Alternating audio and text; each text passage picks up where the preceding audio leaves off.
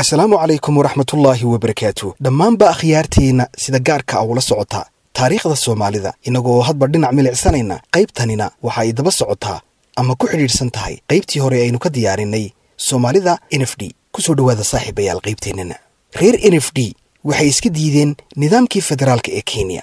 Bishii sebtembar kun sagaal boqol iyo koob iyo lixdankii caaqilo soomaali ah iyo siyaasiyiin kale ayaa waxay magaalada nairobi kula kulmeen xoghayihii dowladda britain u qaabilsanaa arrimaha mustacmaradda kenya oo magaciisu ahaa relingard moling laakiin waxay iskaga baxeen wadahadalkii ay la lahaayeen kadib markii uu diidey in ay ka wada hadlaan arrimaha la xidhiidha sidii n f d ay gaar uga noqon lahayd kenya marka ay xornimada qaadato. Bishii februari kun iyo labiiyo lixdankii ayaa xubno ka socday xisbiyada n f d ama soomaalida gobolka waqooyi bari ee kenya waxaa lagu casuumay inay ka qayb galaan shirweynihii labaad ee lancaster house conference oo lagu qabtay magaalada london ee carriga ingiriiska.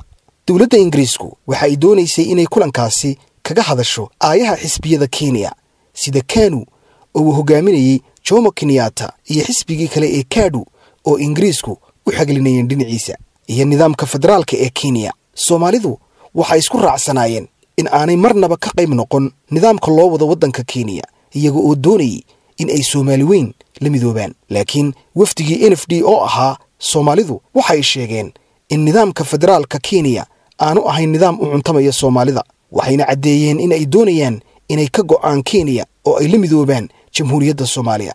Waxaanay arrintaasi toos ugu bandhigeen dowladda britain oo weli ka talinaysay waddanka kenya. Soomaalidii waxa ay waxba kama jiraan ka soo qaadeen wafdigii reer kenya ee shirka yimid waxayna hadalkooda ku jiheeyeen oo keliya dowladda ingiriiska. Soomaalidu waxay ahaayeen dad han weyn oo aad iyo aad u qab weyn. Sidaas darteed kenyaanka uma ay joojinayn cidda ay la gorgortamayeenna keliya waxay ahayd cidda taladu ka go'aysay oo ah ingiriiska. Wafdigii kenyaatiga ahaa waxay markaas ku andacoodeen in soomaalidan kulanka timid. Aanay wakiil ka ahayn dadweynaha reer n f d oo dhan waxaana kulankaas ka soo baxay in dowladdii britain ay go'aamisay in ay guddi xaqiiqa raadin ah u dirayso n f d si ay u soo ogaadaan waxa ay doonayaan dadweynaha soomaaliyeed ee halkaasi degani. Waxaana dowladda britain ay wafdigii soomaalida u ballanqaaday in wixii guddidaasi soo ogaato lagu salayn doono go'aanka kama dambaysta ah ee aayaha n f d oo markaas go'aanka la gaadhi doono ka hor inta aan kenya xornimada la siin. Waa sida ay britain wakhtigaasi ballanqaaday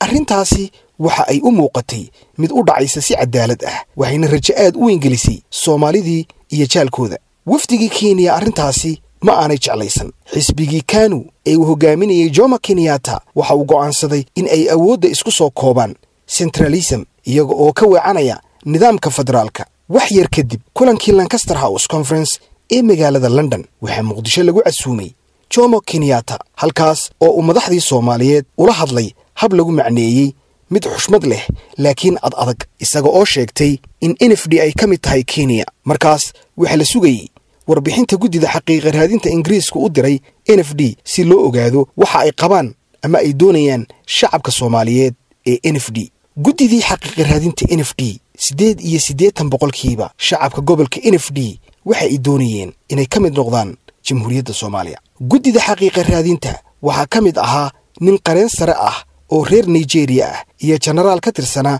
ciidanka kanada waxayna n f d booqasho ku joogeen intii u dhexaysay oktoobar ilaa noofembar sannadkii kun sagaal boqol iyo laba iyo lixdankii si ay u ogaadaan dareenka dadweynaha waxay qabteen kulamo iyo shirar ay dadku isugu soo baxayaan meelo fagaarayaal ah.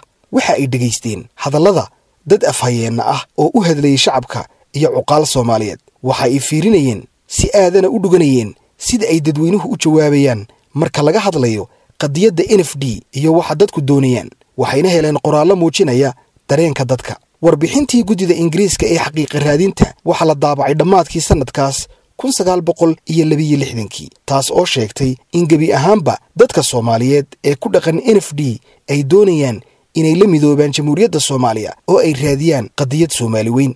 Waxaa sidaas oo kale in ay la midoobaan soomaaliya doonayay dadka booran oroma oo muslimiinta ah iyo randhiile ee dega n f d. Warbixintu waxa ay muujisay in tiro aad u xaddhaaf ah oo ah dadka ku dhaqan n f d ay doonayaan inay la midoobaan soomaaliya taasi oo afriij ahaan tiradooda lagu qiyaasay in ka badan siddeed iyo siddeetan boqolkiiba.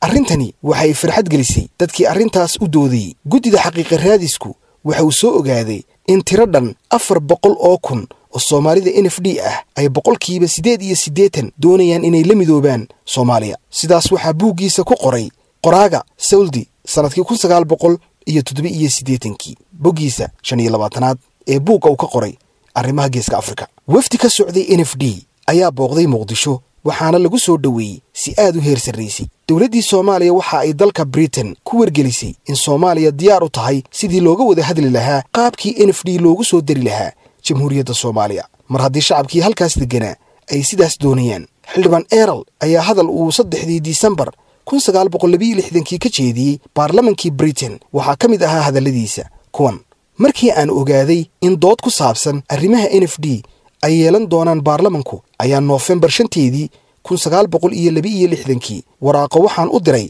dad jooga kenya si aan u ogaado xaaladda dhabta ah. Waxaa haddaba ninkaasi dadkii u soo jawaabay ka mid ahaa nin weriye ah oo uu ku tilmaamay nin khibrad sare leh waxaana uu weriyihii xildhibaanka u sheegay. Sidan waxaa jira hal arrin oo aan jeclaan lahaa in aan ka hadlo taas oo khusaysa arrinta n f d oo loola jeedo soomaalida. Waxaan aaminsanahay inaad xiisayn doontid arrintan. Dhibaatadanna haysataa waa tan. Dadka shirkadda shell b b waxay lacag dhan siddeed milyan oo bound ku kharash gareeyeen aaggaas sidii ay batrool uga sahamin lahaayeen. Hadda dhammaan xisaabtii ay sameeyeen waxay ku soo ururtay meel labaatan mayl dhanka waqooyi bari ka xigta golole ama hoola meeshaas oo lagu magacaabo wallu taas oo toban mayl dhinaca bari ka xigta webiga taana oo ku dhex taal n f d. Tani waxa ay hal mayl ama wax la mid ah bannaanka ka xigtaa degmada xeebta. Waxa uu cabbiray bartaasi waxayna cabbir isu leeg u jirtaa mombasa oo dhinaca kenya ah iyo kismaayo oo ah dekad soomaaliyeed. Waxa uu yidhi waxaa cadho xoog leh ka imanaysaa haddii batroolkaas safayntiisa la geeyo mombasa. Ugu yaraan qayb hadda waxaa ceelka hoos loo qoday in ka badan siddeed kun oo fiid waxaana dhiman afar kun ilaa lix kun oo fiid in hoos loo sii socdo. Labada dal waa kenya iyo soomaaliya ee midna ma leh aalad wax lagu ogaado. Waa ceel carqaladi ku jirto laakiin waxaa dhici karta in ay meel hungo ah tahay. Disembar saddexdeedii kun sagaal boqol iyo labiyo lixdankii folyum laba afar shan waxa ay taariikhdaasi ku beegan tahay. Xilligii guddida xaqiiqi raadintu ay booqanayeen n f d waa guddidii xaqiiqa raadinta ahaa ee ingiriiska ka socday islamarkaana la sugayey go'aanka britain. Xildhibaanku muddo kadib bishii abriil kun sagaal boqol iyo saddex iyo lixdankii waxa uu yidhi n f d waa meesha ugu faqiirsan uguna saboolsan haddana ugu ilaaqda iyo muranka badan. Waxaa macquul ah in batrool ku jiro laakiin ilaaqdu kuma saabsana batrool. Xataa haddii aan batrool ku jirin weli ilaaqdu waa ay ka taagnaanaysaa. Waxay noqotay arrin niyad jab iyo cadho xoog leh ka dhalato kadib markii la ogaaday in britain aanay doonayn in ay dhaqan geliso wixii shacabka n f d doonayeen oo ah inay gaar isaga taagaan kenyaanka. Siddeedda bisha marj kun sagaal boqol iyo saddex iyo lixdankii ayaa britain ku dhawaaqday in n f d ay tahay gobolka toddobaad ee kenya oo loo bixiyey north eastern province n e p. N f d waxaa hadda loo yaqaan degmooyinka wajeer mandheera ijaara gaarisa isyelow mooyaale iyo marsabit taasi waxa ay keentay cadho aad u xoog badan oo ka timid dowladdii soomaaliyeed iyo guud ahaan shacabka soomaaliyeed. Meel kasta oo ay joogaan. Dood ka dhacday baarlamanka dalka britain saddexdii bishii abril kun sagaal boqol iyo saddex iyo lixdankii ayaa xildhibaan eral waxa uu ka jeediyey hadal aad u dheer oo uu kaga hadlay qadiyadda n f d oo uu ku muujiyey in dhammaan dadka reer n f d ay doonayaan in ay ka go'aan kenya marka ay xornimada qaadato. Isagoo xusay waxyaabihii ay soo ogaadeen guddidii xaqiiqa raadinta ee britain u dirtay n f d. Waxaanuu yidhi dadka reer n f d waxay doonayaan inay ku biiraan jamhuuriyadda soomaaliya. Waxaanay u socdaan qadiyad soomaali weyn. Waxaan u malaynayaa boqolkiiba in ka badan siddeed iyo siddeetan ayaa sidaas doonaya.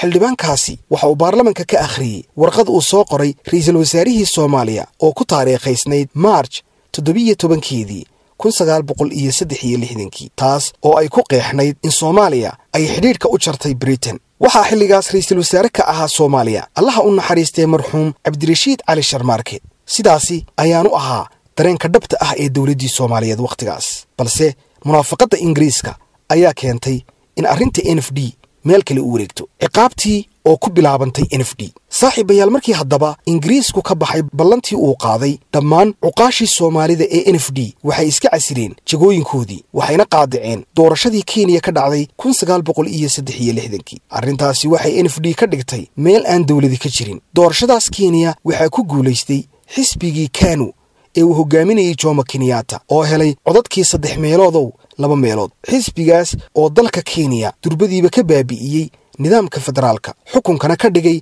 mid ku kooban dowladda dhexe oo centralised ah. Soomaalidii n f d durbadiiba waxay dareemeen cadaadis weyn. Waxaa n f d laga caydhiyey alagas kholkhoole oo ahaa ku-xigeenkii xisbigii m p p p. Waxaa lagu xejiyey madaxdii kale ee xisbigaas oo sidoo kale waxaa la caydhiyey deegu istanbul abdi iyo wako habi maalintii doorashadii xornimo gaadhsiinta kenya afar iyo labaatankii mey kun sagaal boqol iyo saddex iyo lixdankii. Waxaa tacshiirad rasaas ah lagu furay oo ooda lagaga qaaday afar qofna lagu dilay dad soomaaliyeed oo isku dayey in ay ishortaagaan turkana iyo miiru oo doonayay in ay ka cod dhiibtaan degmada isyelow bishii juun kun sagaal boqol iyo saddex iyo lixdankii waxaa la dilay guddoomiyihii degmada isyelow oo markaas la soo magacaabay. Soomaalidii deganeed n f d waxay u jihaysteen muqdisho si ay uga soo helaan taageero hub iyo agab ay kula dagaalamaan kenyaanka oo xornimadeedii qarka u saarnayd wakhtigaasi. Soomaaliya waxay xilligaas hubkii heli jirtay waddanka talyaaniga. Waxaa dhacay haddaba weerar bartamihii noofembar kun sagaal boqol saddex iyo lixdankii lagu soo qaaday libooye oo ku taal xadbeenaadka. Durbadiiba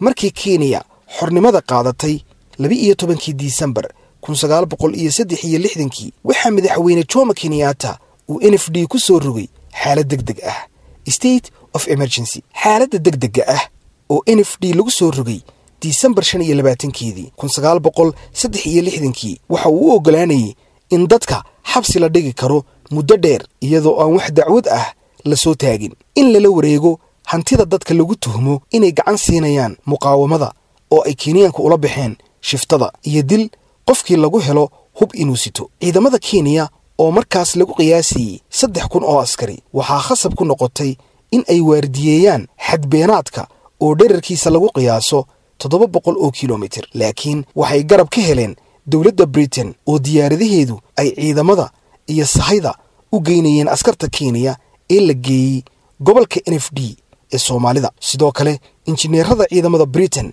waxay dayactir ku samaynayeen dariiqyada askartu marayaan sidoo kale dakhaatiirta britain waxay soo daadgureeyeen wixii ka dhaawacma askarta kenya. Dowladda britain waxay difaacday maxamiyaddii ay gumaysan jirtay ee kenya sida aan xagga hore ku soo xusnay. Waxa kale oo kenya ay heshiis isxulafaysi ah oo xagga militariga ah kula jirtay waddanka etoobiya horraantii sannadkii kun sagaal boqol iyo afar iyo lixdankii soomaalidu waxay weeraro ku dhufo oo ka dhaqaaq ah oo xidhiidh ah ka fuliyeen n f d gaar ahaan degmada wajeer waxayna xarun ka dhigteen meesha lagu magacaabo buuraha bunna. Waxaa la weeraray xarumo booliis oo ay kenyaan joogeen. Waxaa dilaacay wax loogu yeedho shufto gawaadhida u geli jirtay dariiqa isku xidha wajeer iyo gaarisa oo dherarkiisu yahay laba boqol iyo konton kilomitir waxaa weerar lagu ekeeyey marsabiit waxaa weerarada geysanayey lama aqoon. Bishii maarj sannadkii kun sagaal boqol iyo afar iyo lixdankii kenya waxay xidhay xadbeenaadka la dhex dhigay n f d iyo soomaaliya. Waxay sidaas oo kale weydiisatay etoobiya oo xulafo la ahayd in ay dadka xidhxidho. Waxa la kordhiyey howlgallada ay ka qayb qaadanaysay britain. Sarkaalka labaad ee howlgalka hogaaminayay waxaa laga dhigay nin britain ah.